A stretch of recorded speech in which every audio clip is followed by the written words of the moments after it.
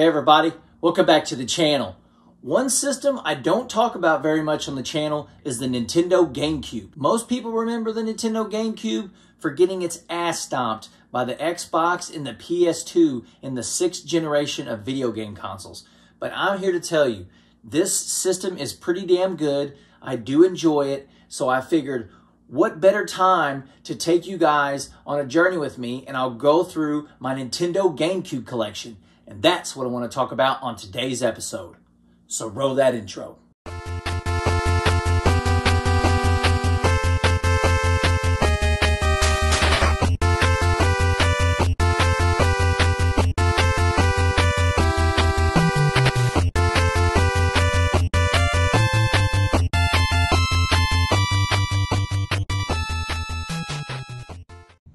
All right, now I'm not gonna go into insane depth on these games.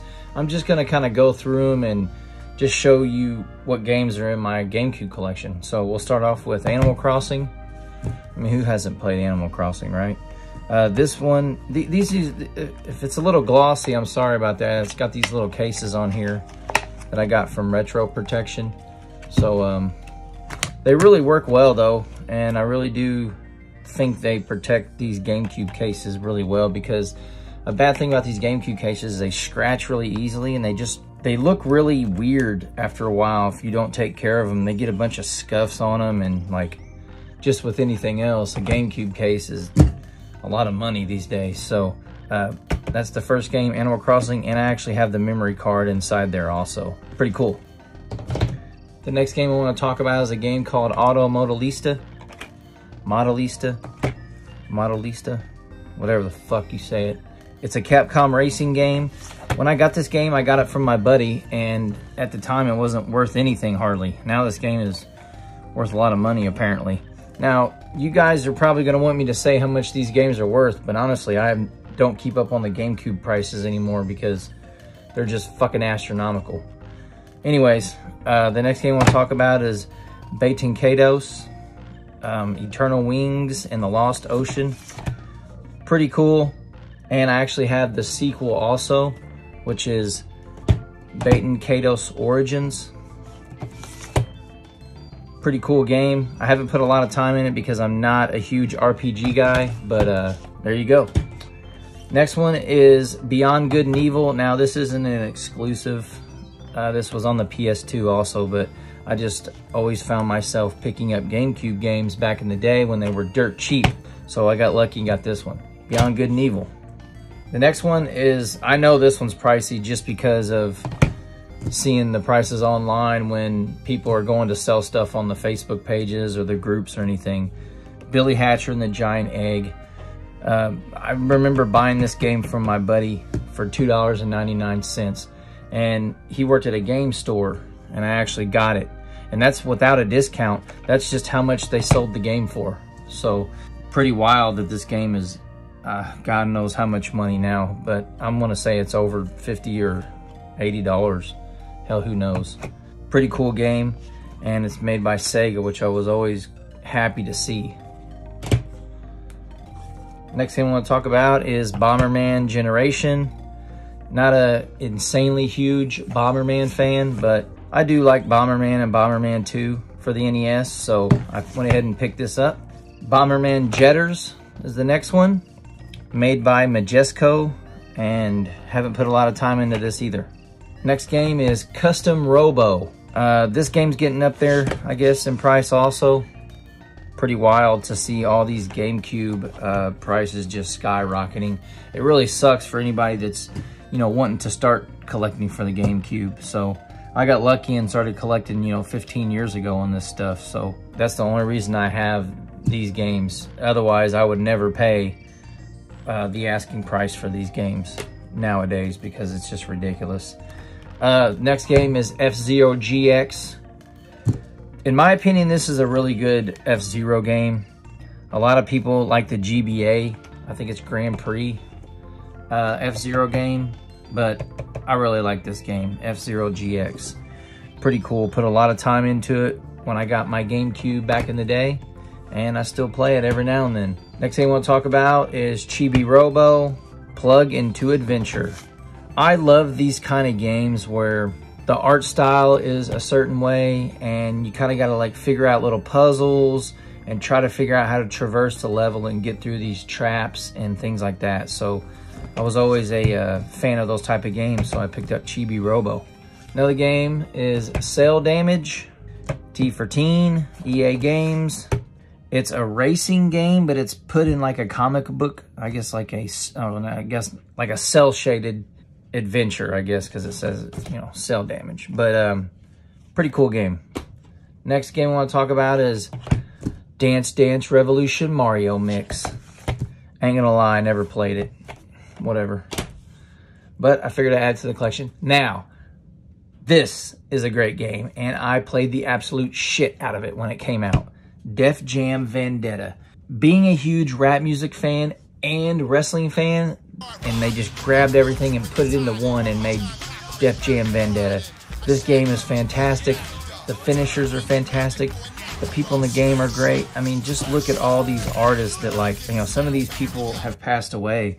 So they really can't, you know, make a, uh, a sequel now to, or a third one, I should say, because there's actually another one for the GameCube. But, you know, some of these people have passed away, so you really can't do this again. And I don't know how they did all this you know, when this came out, I don't know how they got all the agreements and everybody signed and paid, but super cool game, a great story mode, so fun to play, and it's just, the music is fantastic if you're a hip hop or rap music fan. Uh, just a really great game all around. Def Jam Vendetta. In my opinion, the better sequel is Def Jam Fight for New York. I don't know that these games are pricey just because I was recently looking up some stuff and I seen that the disc for this game is like, I don't know, 80 bucks. So I can't imagine how much a complete in box copy.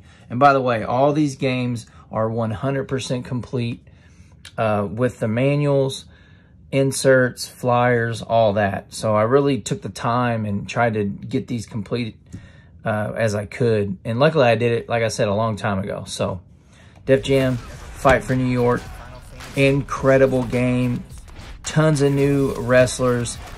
I mean, look at all these, look at all these hip hop superstars down here. I mean, just so freaking cool. Warren G, Omar Epps, Henry Rollins. I mean, just super freaking cool game. And uh, like I said, I'm a huge wrestling fan, so this appealed to me very, very easily. Uh, another game is Donkey Konga. Um, I actually got this and a brand new set of bongos for $5.99 uh, a long time ago. So that's how prices were back then. I'm sorry, th this isn't sealed, but the the bongos are. But $5.99, fuck, I think the bong the bongos go for like, hell, who knows, 20 bucks or something. I don't know how much they go for. Donkey Konga 2, pretty cool sequel. says compatible with the DK bongos not a lot of people played these games because you had the bongos with them, but they're pretty entertaining, especially the second one. I enjoyed the second one. I remember just sitting around after I'd get off work on third shift and just be sitting in my apartment back when I was, you know, when the GameCube was out. I'm sitting here just playing bongos at like 7 in the morning. I mean, it had to be wild if he was my neighbor. Next game I want to talk about is Donkey Kong Jungle Beat, compatible with the DK bongos they really like hyped up Donkey Kong on the GameCube for some reason. Uh, you know, he was coming off of Donkey Kong 64, which in my opinion is, it's just a shitty game. I'm not gonna sugarcoat it. So yeah, Donkey Kong Jungle Beat. Next game I wanna talk about is one of my favorites for the GameCube, a GameCube exclusive. I'm a huge, uh, you know, survival horror, horror you know, movie and video game fan. So Eternal Darkness, Sanity's Requiem. This game is absolutely incredible. Um, a lot of people did not play this game. And if you did, you know if somebody played this game. If you say, hey, have you ever played, you know, Eternal Darkness? And they'll say, oh, yeah, I played it. Well, you know, what, what parts did you like the best? That's how you know if they played the game because there's very specific things that happen in this game that only happened in this game or I've never seen before or since this. So super cool mind trip horror game. I don't know what else to say. Everybody probably knows about this game, but very cool, and I'm sure it's very pricey now. So, and also another thing, not many games were mature on the GameCube, very few. So that was really cool. Uh, another game that I got that is sealed that I have never played is Final Fantasy Crystal Chronicles. Um, apparently you can use this with the GBA, but yeah, I've never played it. I'm not gonna lie. I'm not gonna sugarcoat it. So yeah, Final Fantasy Crystal Chronicles. The last game I want to talk about for part one is Fire Emblem Path of Radiance. I picked this up from my buddy who worked at the game store. No discount or anything. And I want to say, if I'm not mistaken, this game was maybe $25, which at the time was insane for a GameCube game. Like you could get first party GameCube games for, hell, I don't know, 10 bucks. I got all my Mario parties for dirt cheap, so Fire Emblem Path of Radiance. The game's extremely pricey now, and this is 100% complete. So um, I'm glad to have it in the collection. Not gonna lie, I probably wouldn't play it very much these days, but I'm actually glad I have it because it's super hard to find. And if I was an RPG fan, uh, I'd probably want to play this and then I'd be super pissed that I'd have to pay an stupid amount of money to play it. So there you go. Fire Emblem Path of Radiance. Well, that's all for part one. Hopefully you guys enjoyed that. And I'll definitely have parts two, three, and four coming out in the next couple months or so. Uh, I appreciate all you guys watching. Take it easy, y'all. So there you go. There's part one of my Nintendo GameCube collection. I have quite a few GameCube games, so I figured I'd make a four-part series. And this is part one. I hope you guys enjoyed the video. If you have any memories of these games I talked about today, or just any GameCube game memories in general, make sure to leave your comment in the comment section below. Don't forget to like, comment, and subscribe. And until next time, keep on reminiscing, baby. You're nothing but a punk, your daddy's a punk, and your mama's a bitch.